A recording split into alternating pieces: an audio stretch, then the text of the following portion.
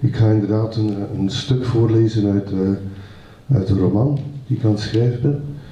Uh, het is een, naar goede gewoonte een soort verhaal in een verhaal in een verhaal enzovoort. Ik werd wakker omdat ik mezelf hoorde zeggen: Vandaag ga je vissen. Onmiddellijk gleed ik weer weg, maar het was een andere killere slaap waarin ik was terechtgekomen. Zo koud dat ik me op een zij tegen mezelf aandrukte. Eerst schoof ik mijn knie in de knieholtes van mezelf, daarna duwde ik mijn buik en borsten tegen de rug, heel voorzichtig. Legde ik mijn hand op, de recht, op het rechter schouderblad en mijn kin op mijn eigen schouder. Lichaamswarmte. Ik lag tegen dat onrustige lichaam van me dat zich begon te ontspannen, waardoor ook ik rustiger kon ademen en opwarmde. Ik fluisterde in mijn oor: vissen in het meer? Vissen in welk meer? hoorde ik mezelf vragen. Hoewel ik natuurlijk heel goed wist over welk meer het ging.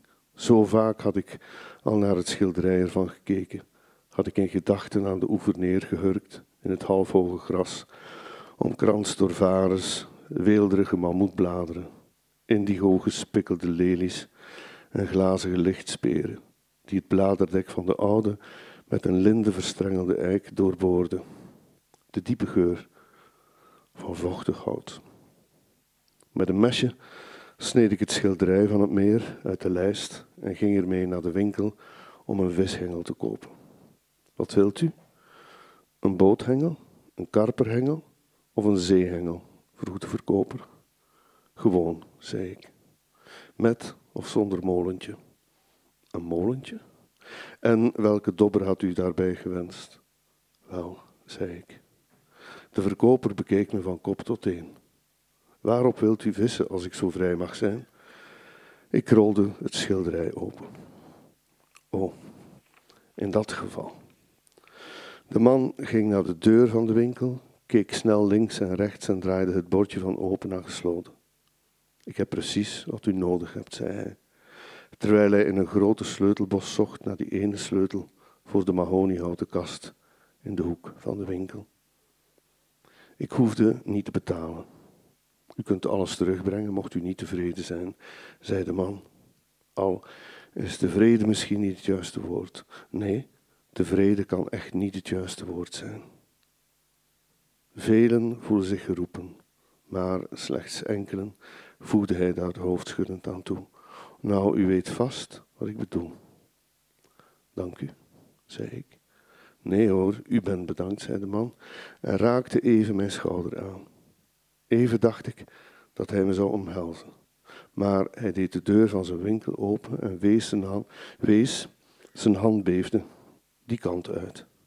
Hij hijgde alsof hij in één minuut stokoud was geworden. Ik begon te wandelen. Een beekje leidde me een bos in. Mijn voeten leken te weten waarheen. Ze brachten me naar de rand van een meer. Ik keek naar de foto. Het kan nergens anders dan hier zijn, zei ik. Ik ging zitten op een krakende ponton, die lang niet was gebruikt. Het hout was helemaal bedekt met zacht, zacht mos, alsof de ponton kneedbaar was. De namiddagzon op de toppen van de eik en de linde, het geluid van een bij. Ik knielde bij sneeuwklokjes neer en hield de stengels tussen mijn vingers, mijn hand onder de bloemkelkjes.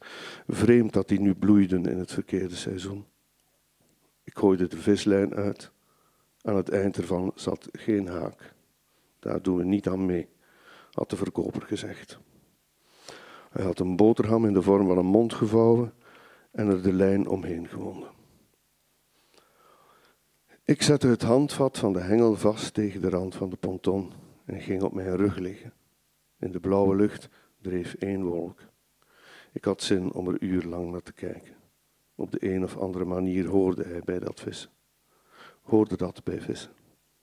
Alsof iemand een pijp had opgestoken en die wolk telkens met nieuwe rook voedde. Zo loom bewogen de randen van de wolk. Ik moet in slaap gevallen zijn, dacht ik. Waarom anders word ik wakker, werd ik wakker doordat ik tegen mezelf zei: Je hengel beweegt, je hebt beet. Ik sprong overeind. Het kon niet anders dan iets enorms zijn. Zo diep boog de hengel door. Schrap gezet, millimeter voor millimeter. Tot eindelijk een natte plof in het gras. Nog altijd zat aan het eind van de lijn de boterham gevouwen in de vorm van een mond. Alleen was de boterham zo rood, was het rood zo enorm dat mijn hengel er helemaal van doorboog. In het gras. Ik lag er op mijn zij naar te kijken, naar dat bodemloze rood.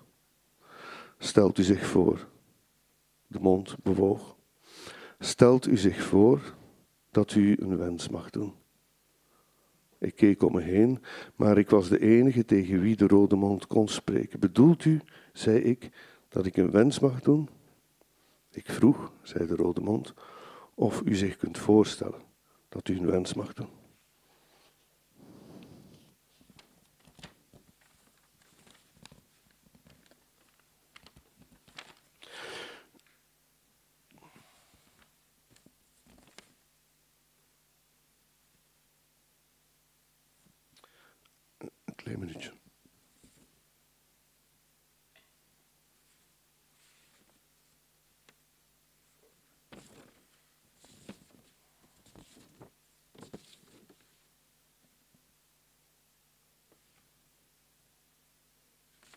Het is echt beter om uw verhaal te pagineren.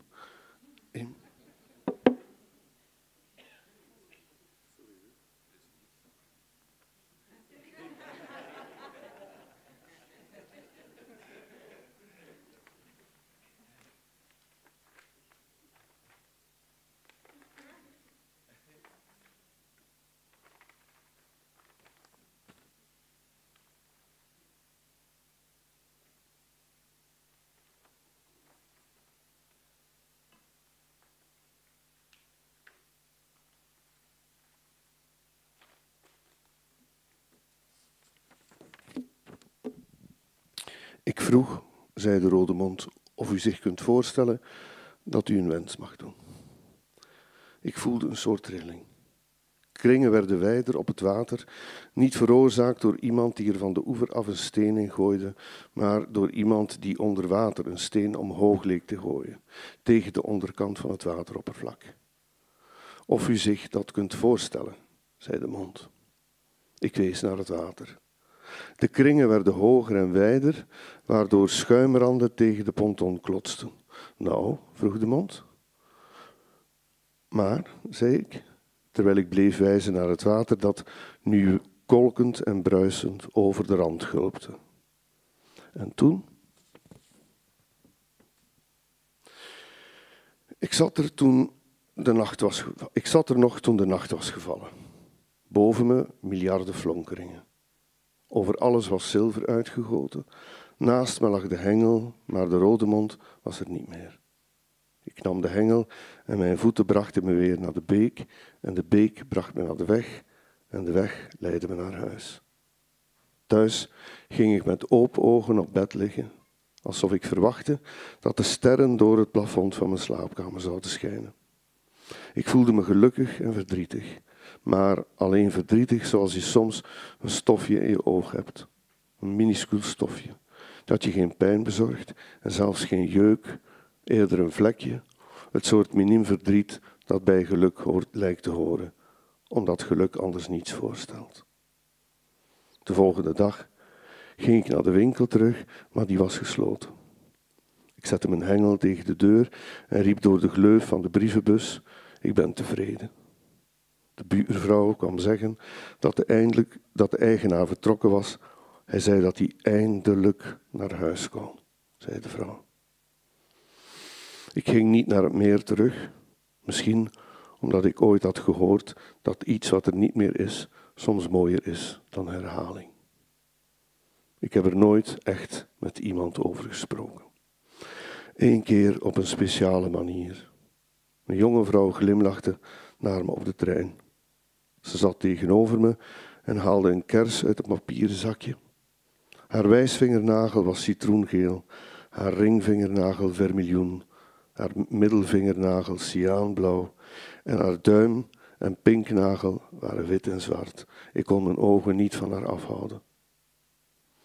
Roerloos zat ze met het bordeauxrood van de kers tussen het geel van haar wijsvinger en wit van haar duim, alsof ze helemaal verzonken was in wat ik dacht. Zo stil vertelde ik haar mijn verhaal dat het zelfs geen praten was dat ik deed, maar denken. Zo stil dat ik hoopte dat alleen zij het zou horen, fluisterde ik in gedachten. Op een dag werd ik wakker omdat ik tegen mezelf aan het praten was. Ik hoorde mezelf nog net zeggen: Vandaag ga je vissen. Ik keek onder mijn bed, maar daar was niemand tegen wie ik had gesproken. Ik antwoordde: Goed. Hoewel ik nooit eerder had gevist of er nooit eerder de behoefte toe had gevoeld. Ik wachtte enkele seconden alvorens door te gaan. Uiterst traag beet de jonge vrouw een stukje uit de kers. Niets wees erop dat ze hoorde wat ik dacht, maar er was ook niets wat het tegendeel bewees. Toen ik het over de rode mond had, bewoog haar hoofd. Alsof ze nee, nee, nee zei. Ging haar mond lichtjes van links naar rechts en van rechts naar links over de kers, tot haar lippen helemaal rood waren.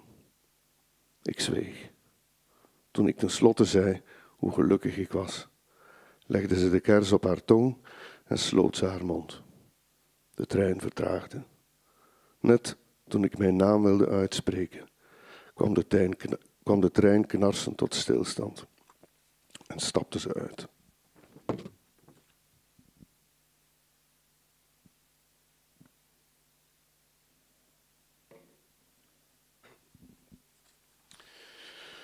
De dagen werden donker in zichzelf gekeerd.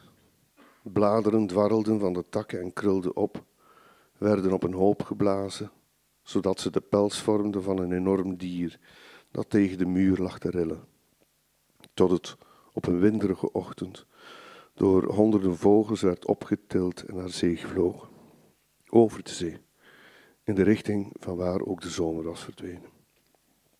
Daarna regende het wekenlang en toen niemand dacht dat het er nog van zou komen, vielen de eerste vlokken, waarna het niet meer ophield.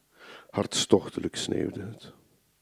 Ik kroop in bed om te luisteren naar de kristallen die alles bedekten en elk geluid uit alles wegzogen. Zelfs die van mijn eigen ademhaling en hartslag. Alsof ik me in de kern bevond van een almaar trager wordende lawine, die nog trager werd, ademloos, doodstil. Ik droomde. Ik herinnerde me. De vijver, het meer, rimpeloos. Op de oever een schildersezel. Om de schildersezel heen leeggeknepen verftubes in een cirkel. Het doek, spierwit, alsof het in een winterslaap was verzonken en wachtte op de lente om in kleuren uit te barsten. Ik herinner me. Een lichaam ging op de rand van het meer staan en sprong. En trok in die sprong de benen op en sloeg de armen om de knieën. Bleef roerloos zo hangen boven het tot rust komende water. Ik herinner me het meer. Een spiegeling boven het meer in de vorm van een in de lucht hangend lichaam, als een vuist gebald, met opgetrokken benen, armen om de knieën, hoofd tussen de knieën, afgetekende rugspieren, roerloos, twee meter boven het wateroppervlak. Rimpelingen. De zon kwam en ging, maar de spiegeling bleef. Ik herinner me dat luchtbellen opborrelden en dat er een echt hoofd opdook. Het lichaam hees zich aan de rand op, ging op de oever staan, het was een man, naakt, en loste tussen de varens op. Alleen maar het glad wordende water in de zon. Ik herinner me dat de zon precies in het midden van het meer neerkwam. En dat ik het niet kon laten in die schittering te kijken. Misschien omdat ik erdoor verblind werd en, en net daardoor kon zien dat er Ik herinner me, in die schittering zag ik een schip, nauwelijks een glimp, maar op het dek zag ik onmiskenbaar. Ik herinner me dat er iets, enkele seconden haarscherp, niet langer. Een schildersezel stond op het, doek, op het dek en iemand stond voor het witte doek in een cirkel van leeggeknepen verftubes met een jumpsuit aan. Het bovenstuk ervan uitgetrokken, afhangend over de broeksriem. Toen de persoon zijdelings boog, kon ik een borst zien. Ze had een handdoek om haar natte haren geknoopt, blote voeten. Ze veegde haar rechterhand en haar broek droog en haalde een penseel uit de, uit de duimstokzak. Ze zette de penseelpunt tegen het doek en bleef zo staan. Haarfijn kon ik het zien. Haar wijsvingernagel citroengeel. Haar ringvingernagel vermiljoen. Haar middelvingernagel cyaanblauw. En haar duim en pinknagel wit en zwart. Het penseel in aanslag tegen het doek. Stond ze schrap, klaar om toe te slaan. Alsof er iets uit dat water zou komen. Tijdens die ene verblindende seconde. En toen